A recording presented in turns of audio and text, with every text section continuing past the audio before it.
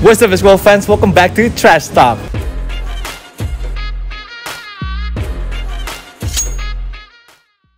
Balik bareng gue Ricky Padilla dan ini adalah edisi spesial episode 100 Dan kita sekarang lagi ada di SCBD nih live from SCBD Thank you kepada Leberger Shout out to Axel juga dan sekarang gue sedang bersama Gold medalist Fresh off dari Vietnam. Anda kena Prasta Pras gimana perasaan ini? Menang emas nih. Wah gila sih speechless sih gue kalau misalnya kayak ngeliat-liat video yang masih masih masih merinding masih kayak mau nangis gitu anjing gila. The best feeling banget lah pokoknya. Oh, selamat ya. Sebelum kita mulai interview ini. Dan uh, Pras bawa kita dong ke detik-detik terakhir saat lawan Filipina. Dan lu udah hampir pasti menang. Apa yang ada di pikiran lu dan apa yang lu rasakan? Itu kan waktu itu kan si Marquis kan Marquis Hmm. free throw kan. Dia masuk satu aman tadi itu satu lagi kayaknya disuruh ada yang ngomong apa nggak bisa dimasukin ya? Gitu kan. Oke. maksudnya biar kan sisa Oh, ya, biar dua, dua habis tiga ya. detik kan Biar- habis kan. Terus kan kayak udah masukin aja lebih aman dong lebih aman kan. Hmm. udah itu udah pas masuk buat inbound gue cuma ngeliat dia ngelempar asal gitu gue udah langsung gue langsung langsung lihat-lihatan sama si Bram udah. Wah gila itu anjing nangis gue masih Bram langsung pelukan ya udah itu gold medal buat Indonesia Wah iya sih gila gue juga kita waktu itu gue lagi main basket gitu sama uh, members gue juga kita semua teriak semua sih kita bener kayak kayak kayak semua orang Iya. semua pecinta basket di Indonesia sih Iya. itu nunggu-nunggu momen itu sih Iya kayaknya. karena ini juga mungkin boleh dibilang adalah the best moment in Iya. ba- eh, Indonesian basketball Iya, so history far, so far, Iya ya, so far ya. So far ya the best moment. Even gue bilang lo juara di klub, juara gue juara di klub sama feeling ini nggak ada apa-apanya cuy. Nggak. Karena buat Indonesia cuy, bukan buat bukan buat kita sendiri gitu, buat Betul. seluruh Indonesia gitu. Betul banget sih dan plus of course storyline-nya di SEA Games kali ini adalah tentang orang ada yang bilang uh, Pras sudah nggak layak lagi nih di timnas setelah pertandingan pertama ya lo nembaknya kalau nggak salah tadi uh, dua eh sorry Iya. tiga empat belas kalau nggak salah Iya, di game pertama Uh, terakhir. Awal doang gue 3 point 2 masuk terus nggak ada yang masuk lagi. Iya, abis itu. Tapi tuh di game berikutnya lawan Thailand itu of course uh, 16 poin langsung. Itu lu ada perubahan mindset nggak sih saat dari pertandingan pertama ke pertandingan kedua? Kalau mindset sih lebih ke ini ya kan setelah lawan Malaysia tuh kita dari menang jauh terusnya kita Hmm. ke kejar. Nah mindsetku tuh ya kita jangan sampai ngulangin kesalahan itu Oke. gitu loh. Kita gue tuh main untuk Indonesia menang ya kemarin Iya. kita menang lawan Malaysia sih Hmm. maksudnya. Tapi kan itu menang yang eh, dalam arti kita apa kayak quarter 3 4 tuh kayak ngebuang gitu kayak Hmm. tiba-tiba drop gitu ya. Jangan kayak gitu lagi gitu. Jadi lebih mindsetnya gue harus main lebih fokus buat Indonesia menang bukan buat karena Oh, gue harus mikirin netizen ah gue harus nembak harus masuk Iya. enggak gue pengen Indonesia menang walaupun itu gue nggak step up ya gue mau dicaci Iya. lagi lagi Ta- tapi lawan Thailand menang gue nggak masalah gue mau sampai sampai terakhir gue main jelek tapi kita emas juga Iya. gue nggak masalah gua. Dan lu sendiri baca, baca gak sih atau lu denger komentar itu gak sih sebenarnya? eh, kalau baca enggak jadi kan Oh. kalau gue yang masuk ada yang kadang-kadang ada yang ngetek kan Ah. masuk di notif gitu kebaca dikit tapi gue nggak Hmm. gue nggak nggak nggak nggak anggap lah tapi pasti gue gue tahu pasti ah pasti banyak nih yang gue cuman ya udah gue emang nggak nggak banyak buka Instagram gue cuma main-main game Oke. ngobrol sama anak-anak gitu kan lihat-lihat tapi ya masih ya, saya sekali lah buka Instagram lah kalau ada tapi yang eh, kata-kata yang nggak enak itu ya gue di gue hapus hapus. Biar maksudnya biar nggak ngapain sih gue lihat orang besok gue masih ada game juga ngapain gue mikirin orang-orang nggak jelas kayak gitu. Ya jadi ya kebaca dikit-dikit ya. Bini gue juga sampai kesel gitu kan kadang-kadang Nah. dia juga di tag gitu. Gue juga kesel sih ngapain bawa bawa bini gue Iya, gitu? kalau mau ini gue gue aja gitu Iya. loh ya udah. Ya udah. Eh, pas lawan Thailand eh ya udah fokus aja fokus fokus. Ini doain ya ini eh, bokap nyokap ini main bagus aja kan. Kita juga dia for Americans gitu Iya. kan. Kayak semua orang masih mikirnya "Hmm, berat nih gitu. Even kata si Raul katanya di Filipina tuh banyak betting tuh semuanya. Hmm. Ha- abis game itu pada nangis katanya kalah semua. Jadi pasti. semua orang tuh udah mikirnya kita kalah Iya, gitu kan karena uh, Bolden nggak main Iya. gitu kan. Tapi yang gue bilang enggak lah emang kenapa for Americans? Gitu kita Iya. bisa nih bilang bisa bisa gue udah mati bisa cuman pas main kan ya gini terus kan ya Tapi- ya pokoknya gue mau bantu Indonesia aja sih gitu Uh, that's, that's nice. Dan of course um, di pertandingan itu Tra Holder berapa kali? Mungkin empat kali kali dia ngasih lead uh, untuk Thailand. Uh, tapi kalian dengan tenang close the game out uh, dan bisa menang. Dan lu dua kali three point di tiga setengah menit terakhir itu. Uh, bawa kita deh ke momen 3 point itu lu yakin banget tuh dua kali 3 point satu kalau dari L uh, dari kayak 45 derajat satu Iya. lagi di corner. Um, lo aman di situ walaupun uh, lo game kemarinnya kurang bagus, tapi lo di situ orang percaya diri banget ya lo udah yakin banget untuk nembak Ini dua 3 point itu. ya? eh, yang pertama mungkin mungkin itu ada satu passingan fast break dari Brandon. Mm-mm. Itu yang bikin momentum juga momentum gua buat nembak tuh Eh. ada namanya namanya shooter kan. Shoot namanya kalau udah dapet angin tuh ya gue tembak aja masa Eh. kalau karena game kemarinnya gue jadi nggak nembak ya kenapa ngapain gitu shooter ya shooter is shoot gitu Iya. kan. Kalau kosong terus yang di corner itu gue udah ngeliat banget Brandon gue tuh udah ngeliat Brandon gue udah siap gini. Brandon mungkin tadi nggak ngeliat gue tapi dia ngeliat gue udah kayak gini langsung dipasing udah ya mau apa lagi gue udah dipasing tembak lah. Ya itu yang di, di baseline ya. iya yang Ah. baseline itu. Jadi eh, ya itu kayak udah bener percaya ah, nih gue dipasing nih sama Brandon nih. Kayak Iya. gue udah percaya gitu dia juga ngeliat gue ah nih si Pras masuk nih kayak gitu gitu kan. jadi itu sih kayak the best banget tim ini tuh kayak ada ada momen mom- apa trustnya tuh dapat Oke. banget gitu ke semuanya Dan ngomongin tentang tim ini, Hmm. ini kan berbeda banget kayaknya sama tim-tim Iya, sebelumnya menurut iya, gue. Eh, dan apalagi karena juga sukses sudah dapat emas. Nah kalau menurut lu sendiri, yang lu paling lihat nih dari tim ini, apa sih yang beda? yang pasti big guy kita ya big man kita ada Derek masuk Hmm. ada Ba- eh, Marquis ya Derek sih pembedanya karena kan kita memang nggak punya yang panjang gitu kan Hmm. Sempat pasti Marquis nggak main Eh. Vincent nggak punya ganti sama sekali Iya. dan akhirnya Derek harus main 5 originally dia main 4 kan harusnya jadi itu di sisi itu terus ada juga di sisi kepelatihan head coach kita Oke. Milos kan Milos Ah. memang masih ada coach Toro juga nah tapi ini mereka punya dua job yang berbeda gitu kan si Iya. coach Toro di offense Milos di defense menurut gue itu juga jadi salah satu kunci karena eh, Milos benar-benar merhatiin sedetail apa pun gitu kita salah di defense dikit. Oh iya iya gue salah tadi ya. Dia benar-benar Wow. mikirin banget. Jadi kalau lu lihat kemarin ya kita offense memang nggak terlalu smooth banget tapi defense kita sih yang buat kita lebih lebih bisa habis defense bagus fast break. Terus kalau offense kita broken play broken play ya. Hmm. pick and roll lah ujung-ujungnya pick and roll. Tapi kalau defense kita menurut gue itu yang bikin pembeda di SEA Games kali ini sih. Ini kan kita ngomongin dua pelatih ya, dua pelatih ada coach Milos ada coach Toro. Kalau lu dari sisi pemain sendiri, ada butuh adaptasi nggak sih waktu itu? eh sebenarnya ya agak aneh sih pertamanya kan kayak offense ke Coach Toro kayak Coach Milos kadang-kadang what's the offense press terus gue nanya Coach Toro dulu gitu kan kayak kayak gitu. Tapi tapi ya sama aja kayak asisten sama pelatih lah gitu kan. Jadi Eh. ya nggak nggak yang harus kayak adjust banget enggak cuman cuman bukannya adjust tapi kayak agak lucu aja ya gitu loh bukan bukan masalah sih sebenarnya lucu aja gitu kadang-kadang Pernah salah gak sih nanya kayak gue lu tiba-tiba nanya offense ke coach Milos gitu? Enggak sih kita udah tahu udah tahu kalau kalau offense ke Toro kita udah biasa juga kan. Milo selalu ngingetin di defense. Soalnya kan coach Toro kan duduk ya. Duduk. Coach Milos kan Duduk, berdiri. Kan jadi sebenarnya lebih gampang komunikasinya ke coach Milos ya. Iya.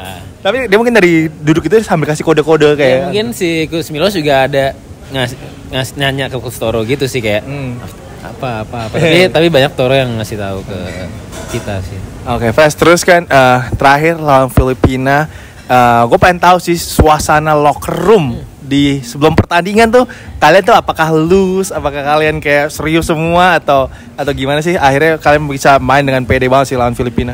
Kalau gue pribadi sih ya, kalau gue pribadinya, Hmm. gue pribadi tuh gue kayak lu saya nggak ada beban sama sekali kayak yang harusnya beban tuh ada di Filipina karena Hmm. Yes. memang mereka yang yang seharusnya menang lah tanda Favorit kutip gitu kan. ya. favoritnya mereka gitu kan kita ya udah kita udah masuk target tapi ya mau dapat emas kenapa enggak gitu Hmm. kan tapi untuk lo- di suasana lo- locker room kalau gue bilang sih nggak ada yang tegang nggak ada yang enak banget gitu ngeliatnya kayak santai aja gitu kayak Iya. nih kita mau main basket nih kita mau kita mau having fun nih gitu di Ah. dalam gitu jadi dari awal sampai akhir tuh having fun tapi dalam kita tetap fokus Iya. itu yang gua gua selalu tuh anak-anak tuh walaupun lose tapi ada fokusnya di situ gitu tetap gue mau ambil nih game gitu nggak Nah. bisa gue ucapin dengan kata-kata sih lu Iya. harus rasain sendiri gitu loh I, I know, I know pasti Iya di situ feel-nya, auranya Iya, lebih berasa iya, sih. iya. Emang kita pasti kalau mau ngungkapin agak lebih susah sih eh, dengan kata-kata. Tapi em, anak-anak ini sekarang nih kok gue lihat ya, benar kompak, kayaknya hustle banget satu sama lain tuh percaya gitu loh. Iya. Ball movement bagus. eh, seperti yang lu bilang tadi Brandonnya sampai percaya malu kan di corner eh, untuk three point. itu tadi yang gue agak eh, eh, apa ya respect sama mereka maksudnya gue thank you banget mungkin mereka juga yang bisa buat gue main tuh bagus terus karena ya setelah game gue lawan Malaysia mungkin harusnya mereka hilang percaya sama Yes. gue kan tapi ya mereka tahu kapasitas gue kayak Bram gitu masih ya dia tahu lah gue bermain bareng ba- banyak Brandon gitu tetap percaya gitu gue di corner gitu walaupun percaya sama gue gitu jadi gue terima kasih banget sama teammate gue gitu kalau nggak ada mereka juga gue nggak akan maksudnya nggak akan bisa ya prove them wrong lah kalau dibilangnya gitu Nah, kita- ngomongin teammate lu sebenarnya ada Derek di situ. Derek lagi main HP di sana. Eh, gu- kita semua pasti akan ngomongin Derek. Menurut gua juga Derek adalah salah satu faktor besar kita bisa menang emas. Eh, kalau menurut lu sendiri pas gimana rasanya main sama Derek? Lu seberapa impress sama dia? Eh, jujur waktu yang gue dulu kan pernah main sama dia waktu dia masih masih masih apa sih masih belum ke Australia dia Ah. masih disuruh main 5 gitu terus eh, pas dia pulang ke sini dia cuma latihan berapa hari juga masih masih ya masih kayak mungkin masih adjust sekali ya di sini tapi di SEA Games kali ini banyak banget orang yang kayak impress banget sama dia dan gue pribadi juga ya he's something special gitu. Dia Yeah. bisa jadi something special kalau kalau dia jangan puas di sini aja gitu kan. Maksudnya gue juga selalu bilang ke dia ya eh, keep low aja gitu. Nanti bakal datang sendirilah kesempatan kesempatan lo. Jadi eh, gue salut banget sama dia. Semoga dia jadi ya gue berharap banget dia jadi NBA player pertama dari Amin. Indonesia ya nggak? Siapa yang nggak mau kan siapa walaupun bukan ya gue cuman apa tapi kita bisa lihat Derek di NBA siapa yang nggak mau jadi semua pasti doain aja kita pasti support terus dia dan pasti dia bakal jadi future-nya Indonesian basketball sih Amin. Nah, ngomongin tentang future-nya Indonesian basketball, Yuda Saputra kemarin ini jadi backup point guard si di layak kalau gue bilang eh si layak nih. Dipanggilnya si layak. gue bilang eh ini si layak nih Oke, I'm gonna call him to that. uh, I'm gonna call him that to next time. Nah, Yuda first experience juga ikut mungkin pertandingan yang ada medalnya Iya, untuk iya, international level. Um, dia juga banyak yang bilang orang-orang mencoba untuk plot dia sebagai pengganti lu nantinya. Uh, of course secara experience ini masih experience pertama dia gue juga kita nggak bisa terlalu banyak ekspektasi tentang dia. Tapi gue mau tahu dong dia main cukup bagus menurut gue uh, berani nusuk dan juga chemistry-nya kelihatannya bagusnya kok ada Derek di lapangan. Iya. Um, menurut lo gimana nih lo ngelihat uh, Yuda yang bisa nanti jadi penerus lo sih? Eh, dia kalau main selalu kasih good minute buat kita lah ya. Nggak ada yang nggak ada yang nyakitin gitu. Berarti good minute terus good minute kalau menurut gue bagus. Cuma jadi itu jadi pembelajaran dia juga kan pengalaman dia gitu kan. Eh, kalau mau dibilang jadi penerus gue ya ya gue gue pasti mau lah. Maksudnya dia lebih dari gue juga gue nggak ada masalah karena misalkan gue udah memang udah saatnya udah nggak maksudnya udah nggak dipercaya lagi sama ke pela- tim pelatih mau memakai Yuda ya gue nggak masalah karena ya selama itu buat Indonesia lebih bagus kenapa enggak kan? Jadi ya kalau di timnas ya kita sama-sama ya mungkin ngasih tahu gue pengalaman gue kayak gimana harus kayak gimana gitu kan. Tapi bukan berarti gue yang lebih jago dari dia enggak. Gue anggap dia sebagai eh, apa sih teammate aja di lapangan gitu. Kayak yang menurut gue bisa ini gue apa kasih tahu gitu. Kalau dia gue bilang ya kalau lu mau ngasih tahu gue juga nggak apa-apa gitu nggak apa-apa Oh, dia kata wow, oke. ada kak sabar dikit gitu. Oh iya sorry, sorry gitu. Kan dia di luar ngeliat kan kayak gue di luar ngeliat dia dia di luar ngeliat gue pasti kan gitu. Karena gue sama role di point guard. Jadi kita tuh saling apa ya sama Hardy sama Hardy Yeah. juga kita saling ngasih tahu saling saling apa bagusnya main apa sih ini pras? gitu. Bagusnya bagusnya ini deh pras kayak gini kayak Hardy gitu. Jadi kita bertiga tuh kalau menurut gue eh, bukan gue point guard utamanya karena gue punya dua dua otak lagi gitu di Ya. bench yang bantuin gue jadi apa out to mereka berdua lah. Tapi lo kalau bisa kasih input ya untuk Yuda uh, melihat permainan dia selama sih, lo kak bakal kasih dia input apa? mungkin lebih kontrol kontrol his pace kali kali ya his pace. Karena dia kalau gue liat pace nya kan masih hmm udah gitu lah kayak kalau dulu dipanggil sama Kustoro kan dia wild wild basketball. Oh, oke.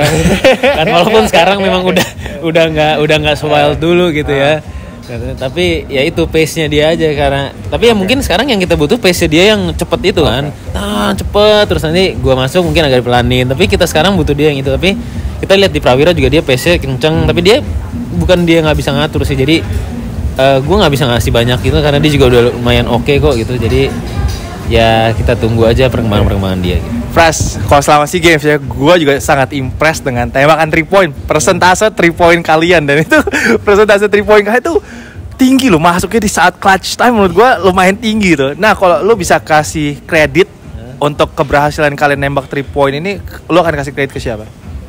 eh kalau gue pasti ke, ke pribadinya mereka masing-masing ya mereka pasti kan lat, dia mereka latihan untuk bisa memasukkan bola itu Iya. kan nggak mungkin dia juga cuma diem-diemnya tiba-tiba nembak masuk nggak mereka pasti latihan terus yang pasti karena eh, Impact apakah berha- eh, benar ada impact juga untuk Oh, kalian? Wah, iya, impact iya, ya? iya, iya. Maksudnya di mereka latihan itu kan ya Ah. karena ya ada si impactnya ini kan Iya. mereka latihan shooting, mereka latihan individual skill.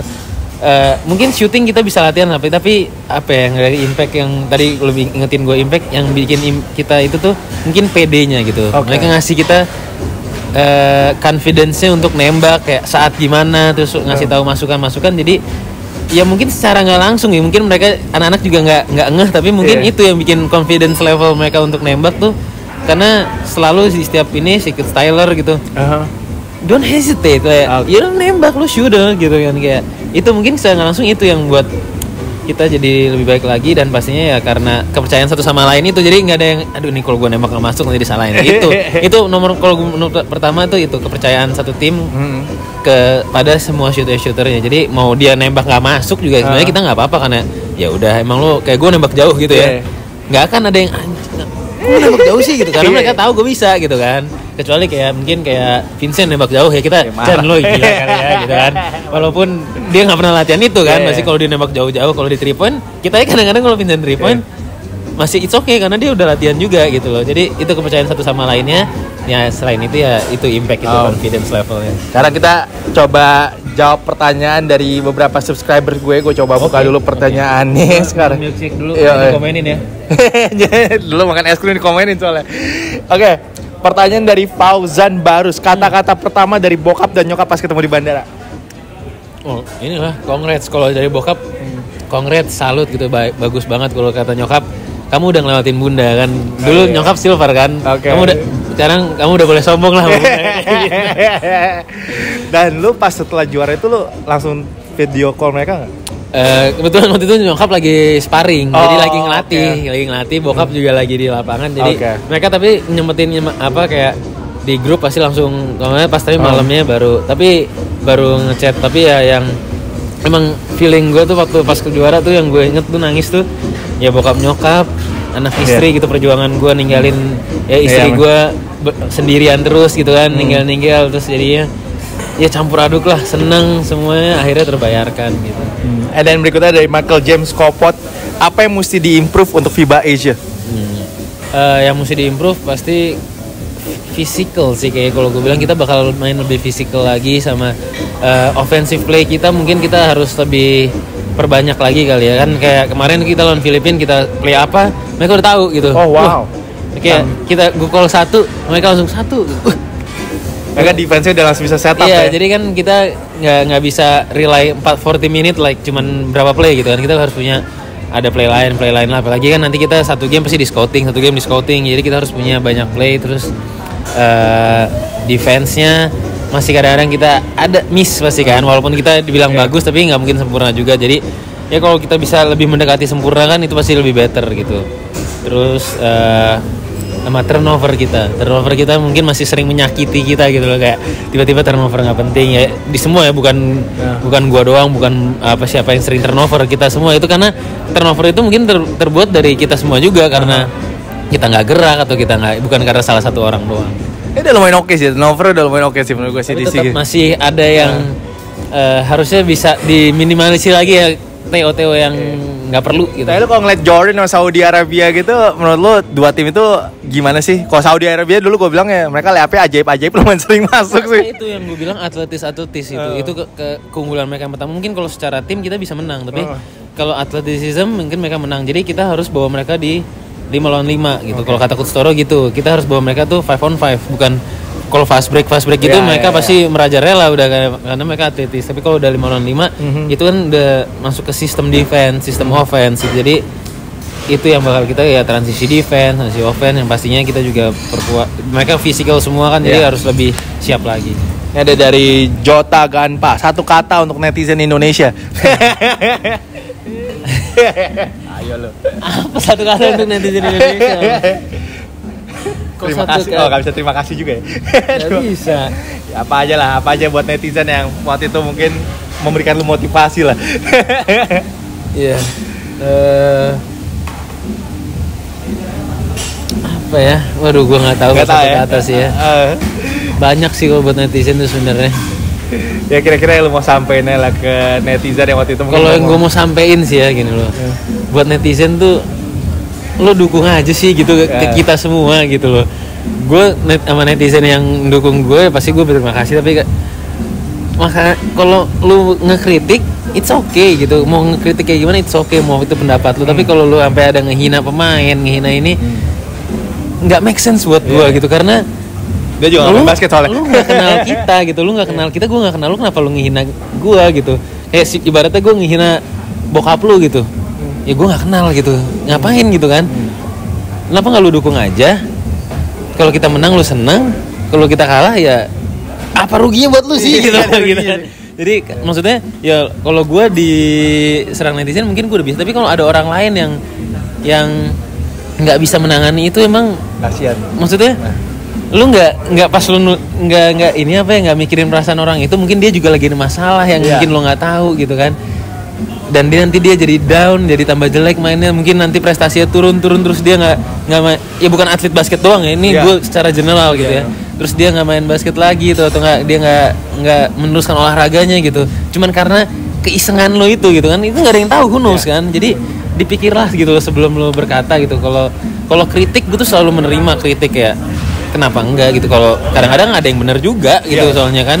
Kayak lu kalau lu ngekritik gue gitu ya benar juga tapi kalau nggak benar ya Nah. ya udah di, di cuman di put aside aja ya nggak usah kita jadi dendam gue dendam Iya. sama lu gitu enggak gue namanya orang kritik kan punya pendapat masing-masing kayak jadi ya itulah tolong dukung aja tim Indonesia dan doain karena kita butuh itu support dan doa Iya, gitu. momentum nih untuk FIBA Asia sama FIBA World Cup. Tapi memang kalau orang mau kritik itu sebenarnya normal aja, asal ada reasonnya, ada Reasonnya, alasannya, dan itu emang facts ya.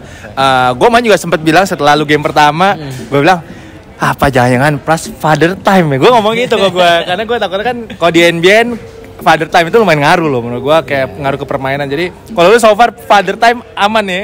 aman aman karena gue masih sering ini ninggal ninggalin gitu kayak gue Ah. bener-bener gue nggak nggak pulang rumah buat lebih fokus ke latihan karena capek Hmm. pasti latihannya kan tapi ya ya itu ya kayak pastilah itu yang mungkin yang belain gue juga pasti ada kritik ya Iya. jangan kayak gitu kayak si Bram pun Iya. gue eh, Bram kan emang gue appreciate banget sih ke si Bram dia belain gue banget tapi dia bilang kayak tapi pas next game lo harus masukin tembakan lo Iya, iya. ya oke gue bilang ya pasti pasti pasti tenang aja gue bilang gue bilang iya oke Iya. oke Bram ya Bram- karena ya ya kalau kalau gue jadi setimnya dia juga kalau dia lagi main jelek Bram masukin lah besok gitu nggak Iya. walaupun kita temenan gitu kan karena ya itu em- mempengaruhi permainan tim juga jadi tapi gue shout out ke Bram udah belain gue banget masih percaya sama gue shout out ke tim tim gue lah pokoknya itu yang bisa gue ngecover netizen netizen itulah tim tim teammate gue itu Bram, AD2, gue butuh eksklusif konten. butuh eksklusif konten AD2. Ya, itu tuh ada dua khusus buat buat Vietnam Filipin ada Iya, dua kemarin. makanya. Kalau pakai-pakai sih Vietnam Filipin Siap. langsung gol. Terakhir nih, Christian Gamaliel, what's next untuk Kopras? Yang pasti ya tetap mau Indonesia bisa bersaing di Asia gitu. Sekarang kan ini ASEAN udah Iya. ya kita ya. Asia kita nih ada FIBA Asia, ada World Cup. Gua ya kita pengennya kan kita nggak cuma berpartisipasi gitu, kita bisa bersaing juga gitu. Kenapa kena bukan hal yang nggak mungkin juga gitu ya. Entah sekarang, entah nanti atau pokoknya yang penting kita harus bisa bersaing dulu, kita mencoba dulu.